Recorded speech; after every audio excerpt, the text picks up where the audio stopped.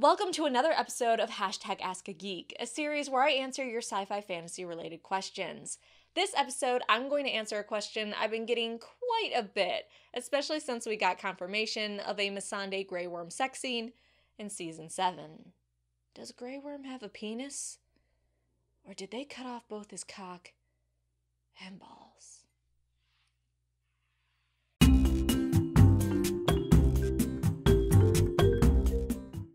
Some people are super excited for that Missandei Grey Worm sex scene this season, and while I'm really not and I don't think it's necessary, it has stirred up some questions. The Unsullied are eunuchs, so that means they had their testicles removed. Right?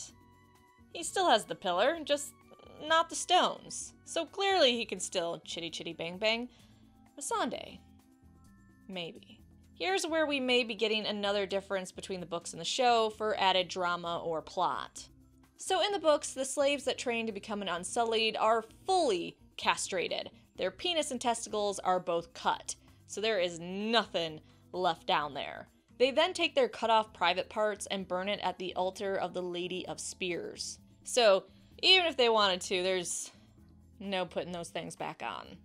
The taking of the testicles is to ensure the soldiers have no desire for sex and will not rape. However, since an erection is still technically possible without testicles, the penis is also removed to ensure no sexual activity will take place. It's basically an extra assurance. Yeah, they probably won't rape without their testicles, but they can still get the erection without them, so let's just remove everything. So both the penis and testicles being removed is definitely confirmed in the books. In the show, however, it hasn't been 100% confirmed they're keeping it the same as in the books. They very well could have him keep his penis for some fun time with Missandei. However, there have been definite hints that Grey Worm had everything removed, such as Missandei questioning why an Unsullied would be in a brothel but she could simply be referring to their lack of sex drive. Of course, we also hear in the show characters talk about Grey Worm's lack of balls a lot, but never really his penis, such as in this deleted scene from season 5.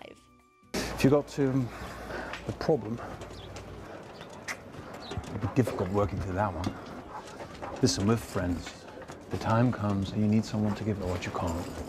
She can close her eyes and think of you. Again, that could be referring to them having their testicles cut off, making it harder to achieve and maintain an erection.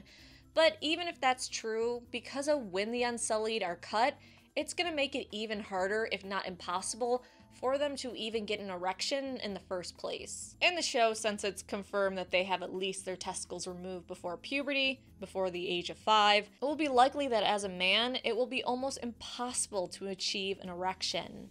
And this is a bit different than if you were to cut off the balls of an adult male. If you cut off the balls of someone that hasn't gone through puberty yet, it's going to be almost impossible for them to have an erection later in life. If you cut off the balls of an adult male, they're going to have an easier time getting an erection, but it, it's still going to be more difficult than their counterparts that have their testicles still. So even if Missandei tries to get action from Grey Worm and he still has his penis, he might not be able to get it up, and if he can, he might not be able to hold it up for long. Even Oberyn and Martell remarked on their bedroom performance, saying, I have been to Essos and seen the Unsullied firsthand. They are very impressive on the battlefield. Less so in the bedroom. So does Grey Worm still have a penis? In the books, no. That thing is definitely gone. In the show, I could actually see them changing it in order to have that Missandei Grey Worm relationship. That being said, you don't need a penis to have sex. Missandei's actress has been very open about how pure and beautiful their relationship is. Maybe because they find other ways to sexually please each other without a penis, though I'm not sure why that makes it pure, but whatever, penises. Or maybe it's because his sexual desire is cut down from lack of testicles and it's more a bonding over being former slaves, everything they've been through, and just love for each other. But if you're just really worried about the sex scene, if you're like, Rawrist, we need some sort of phallic device to go into Missandei. Don't worry, Tyrion has it covered. Then you'll be fucking your own bride with a wooden cock. So thank you for joining me for another episode of hashtag Ask a Geek. Leave your questions down below, like, subscribe, and the season is almost here, motherfuckers.